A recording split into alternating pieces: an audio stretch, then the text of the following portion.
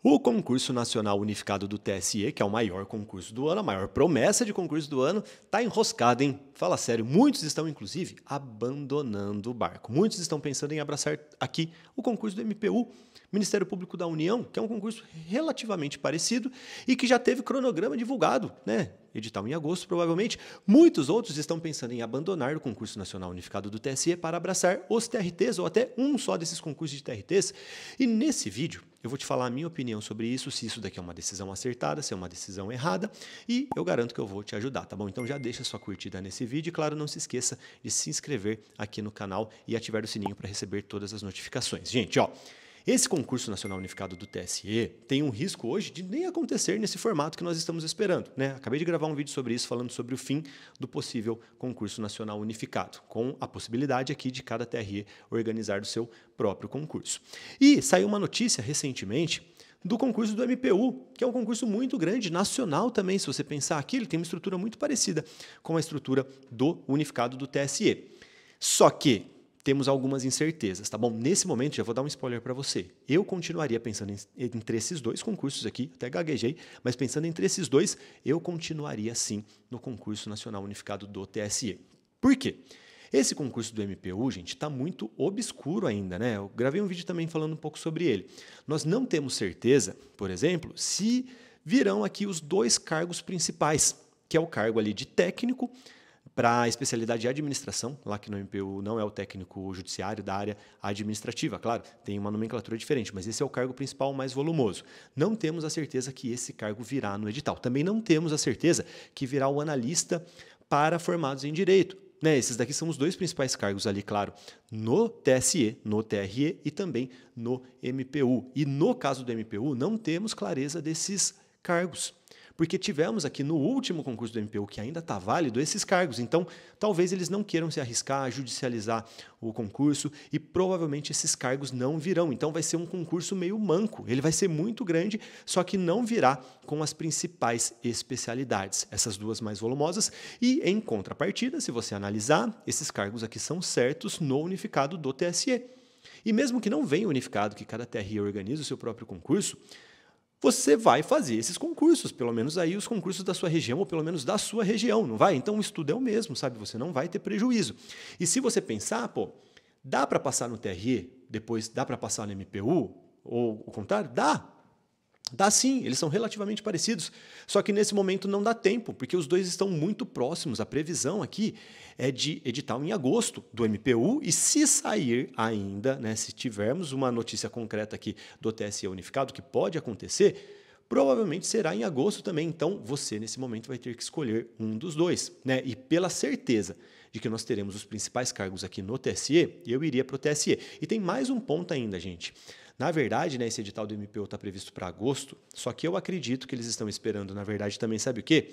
A manifestação do Congresso em relação ao veto que nós tivemos lá, né, uma proposta de mudança do cargo de nível médio para nível superior no MPU, assim como aconteceu nos tribunais também. Né? Aconteceu aqui em todos os tribunais federais isso daqui, tá bom? E provavelmente vai acontecer de novo lá no MPU. Eu acredito que esse veto vai cair, que agora o cargo de técnico do MPU será de nível superior, tá bom? Essa daqui é a minha aposta, mas só saberemos disso em agosto. E isso daqui às vezes pode até travar um pouco o concurso, cara. Tá bom? Então, o MPU ele ainda tem essas incertezas. Né? Claro que o TSE tem as suas incertezas, mas ele vai rodar e quando vier vai ser um concurso, na minha visão, maior que o do MPU. Até porque nos TREs aqui, no TSE, nós temos um vácuo muito grande. Né, provavelmente esse concurso vai chamar demais, gente. Tem muita falta de mão de obra hoje na justiça eleitoral.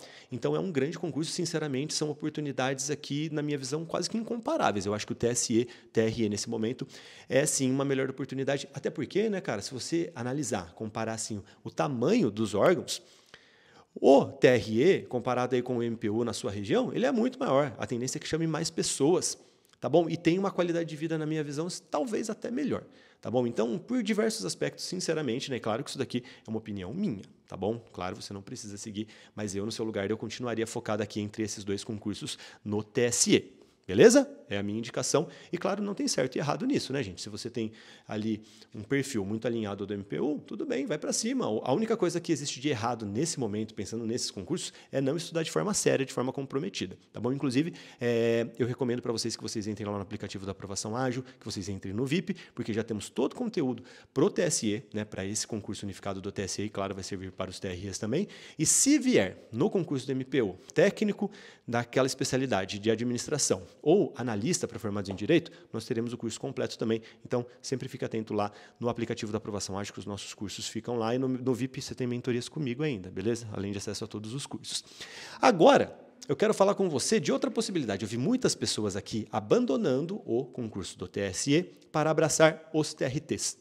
E aí, eu sou totalmente favorável, gente. Né? Inclusive, já falei várias vezes daqui em vários vídeos aqui do canal e também principalmente lá nas mentorias da aprovação ágil. Quem está disposto a viajar para fazer provas ou quem vai fazer alguns dos TRTs que estão próximos aqui, TRT Santa Catarina, TRT Rio Grande do Norte e TRT 11, Amazonas e Roraima.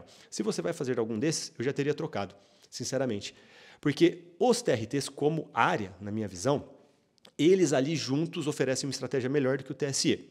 Principalmente se vier do TSE unificado. Né? Mudando isso daqui, talvez a estratégia mude um pouquinho. Tá? Por quê? Se você estuda para o TSE, você tem um estudo, uma chance de aprovação. Vai ser uma prova única, né? Beleza, no Brasil inteiro, vagas no Brasil inteiro, provas no Brasil inteiro, uma chance única. Muito boa, mas única. Se você está pronto para um TRT, você está pronto para 25 oportunidades. Porque são 24 TRTs mais o TST, todos com provas praticamente iguais. Então faz muito sentido, na minha visão, você ter uma estratégia com várias chances de aprovação. É claro que aqui tem um obstáculo. Né? Para você fazer daqui todos os TRTs, você vai ter que viajar, porque cada TRT faz ali a prova na sua região de jurisdição. Deu para entender? Então você vai ter que viajar, mas vale muito a pena o esforço, porque se você está pronto para um, você está pronto para todos. Tá? Então, pensando aqui que nós temos, nesse momento, três concursos de TRTs previstos, faz muito sentido, na minha visão, você ter três chances de aprovação. E com um esforço muito parecido aqui no final das contas, gente, estudar para TRE ou TRT é muito parecido. E ainda, né, eu já falei várias vezes, esse concurso nacional unificado do TSE está chamando muita atenção. Os cursinhos estão gastando milhões e milhões e milhões em propaganda.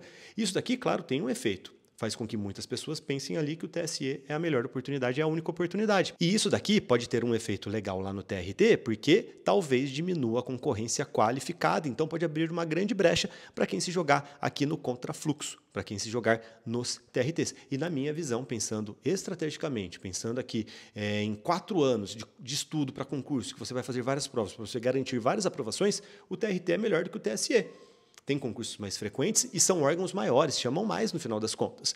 Então, sinceramente, eu, pensando aqui entre TSE, TREs e TRTs, eu abraçaria sim a área trabalhista, tá bom? Não é à toa que eu escolhi essa área, porque na minha visão é o melhor custo-benefício. E lembrando aqui, claro, que em termos de carreira é tudo muito parecido, tá bom? Entre tribunais eleitorais e tribunais do trabalho é tudo igual, é a mesma carreira, tá bom? Só que MPU sempre é muito parecido, né? Sempre teve uma regra aqui de paridade entre MPU e Judiciário Federal, tá bom? Então, na prática, em termos de remuneração de carreira, não muda muita coisa, tá bom? Mas eu quero saber qual que é a sua opinião. Conte aqui.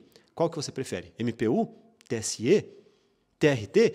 E claro, gente, né, também analise o seu contexto, não se esqueça disso. Pô, você já estudou muito, está voando aqui para o TSE, aí agora, do nada, só porque apareceu uma notícia que talvez não venha mais unificado, que cada TRE vai organizar o seu próximo próprio concurso, você pega e abandona, tipo, não faz sentido. Você tem que ter consciência do seu esforço, do seu planejamento e saber o que você quer, tá bom? Como diria Chorão, só é feliz quem sabe o que quer, você tem que saber o que você quer, senão você nunca vai ser feliz, você nunca vai estudar direito, beleza? E aí também não se esqueça, eu recomendo sempre que você tente entrar no VIP. No VIP não temos vagas para todo mundo, por causa das mentorias, eu não consigo colocar todo mundo lá, mas tem lista de espera aqui no link da descrição, tá bom? Você consegue baixar também todos os cronogramas para todos esses concursos. E claro, se você entrar no VIP, você vai ter acesso a todos os planejamentos, todos os cursos cursos e mentorias comigo, com os professores do Aprovação Ágil e Correção de Redação e tudo mais. O VIP não tem nada parecido no mercado, gente. É só procurar aqui pela lista de espera no link da descrição. Fechou? Gostou desse vídeo? Deixa sua curtida, não gostou? Deixa sua descurtida e me conte por que você não gostou. Não tem problema, eu prometo melhorar nos próximos vídeos. E também, claro, não se esqueça de se inscrever no canal e ativar o sininho para receber as notificações dos próximos vídeos. E temos vídeos completos aqui sobre MPU, TRT, tem uma playlist gigantesca, todo o conteúdo que você imaginar aqui de TRE tem no canal. Pesquise, tá bom? Garanto que você vai virar a chavinha aqui para garantir a sua aprovação nesses concursos. E claro, também segue a gente lá no Instagram e no TikTok, estamos como arroba Bitolei com muito conteúdo exclusivo para vocês por lá e também no Twitter, lá estamos como arroba aprovação ágil. Beleza, gente? Valeu, um abraço, a gente se vê em breve e continue estudando, tá bom? Para qualquer um desses concursos. Fechou? Tamo junto. Valeu, gente. Tchau.